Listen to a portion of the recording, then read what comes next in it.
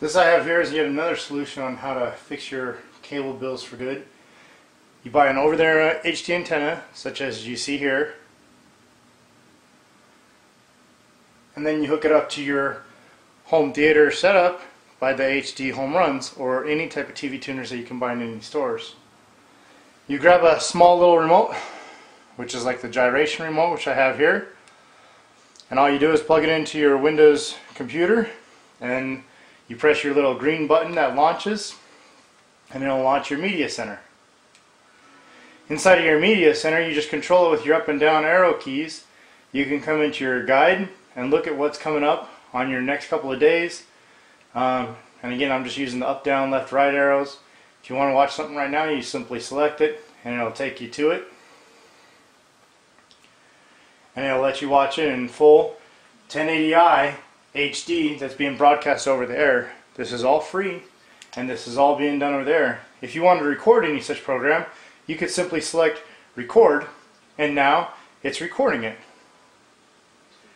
Going back to your guide, you now see that it has the red button on it that it's recording it. Say you wanted to, to record the NBC Nightly News every night, you'd simply select it and select record the entire series and each time this this uh, series were to come on, your computer would automatically turn on, record the series, and turn off right after it. Okay?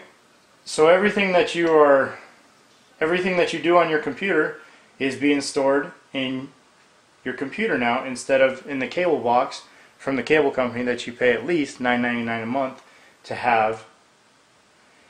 And as I stated before, this is your recorded TV. Instead of looking at a list you look at a list of thumbnails and you can now click play and click the, the recording that we just made.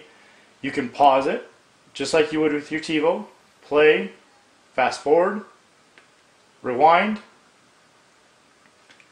and there it is. With live TV, you can do this without the cable company and it saves you a few extra bucks a month.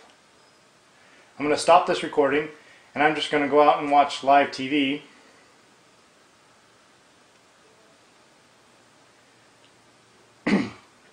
And after you watch this for a few minutes, you can, it's just as if you're, you had your DVR from the cable company.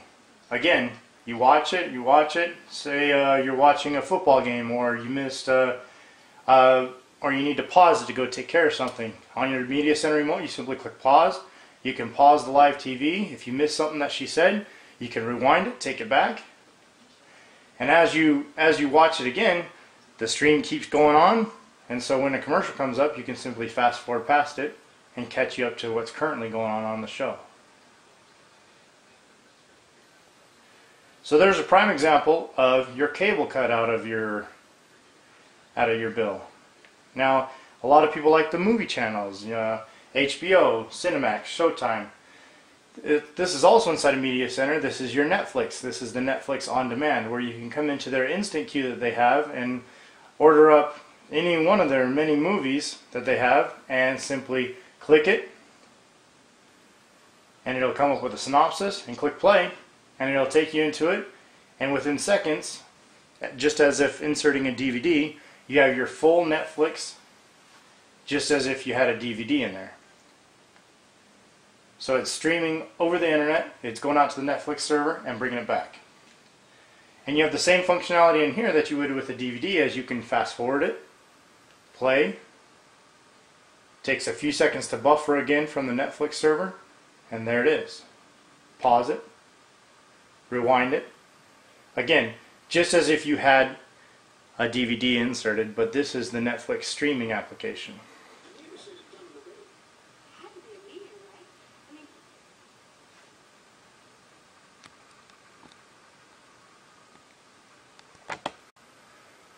As you can see, uh, along with the other things inside a Media Center, you have your Internet TV, which is provided by Microsoft, which they're doing quite a bit with. Um, if you missed the, the last show of CSI Miami, say for an example, you simply click your Watch Now, and it'll bring up the, the listing of all the episodes that's on CSI currently at this time.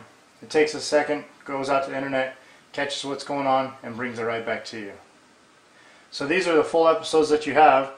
Um, th- that one aired February 27th, for an example. Today is the 7th of, of March. So you go out to it, click play. It'll again go out and get the episode, bring it back to you, and there it is, streaming on your computer.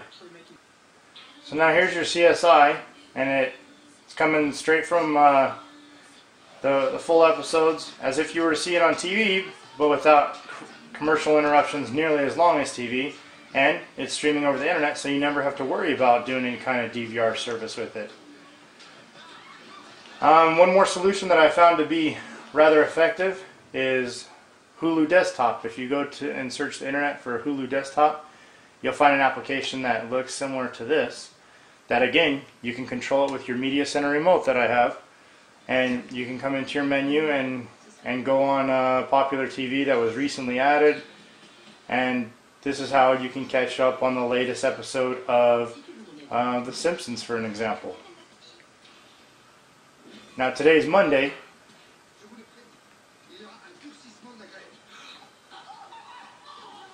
And this this aired yesterday, 3/6 of 2011, and you simply select it and Hulu will go get it, bring it back down, and there it is full on screen just as if you were to watch it on Sunday when it was when it was on.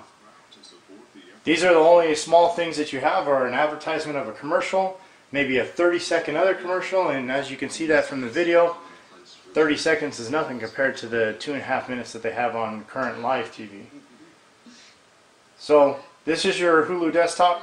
This is another solution to eliminate your cable bill as you can go out to the internet and grab a lot of instant online streaming stuff to uh, take care of that cable bill that you pay 80 90 dollars a month for and the, the home theater PC is what takes care of the DVR and everything else on it so this is the Simpsons episode that aired yesterday and it's already on the internet and ready for you to watch.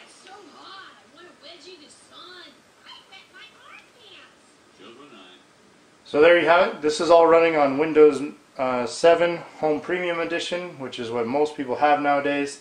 Uh, this is running on a Inspiron Zino HD 410 series from Dell, and this is connected to a 42-inch LG HD TV.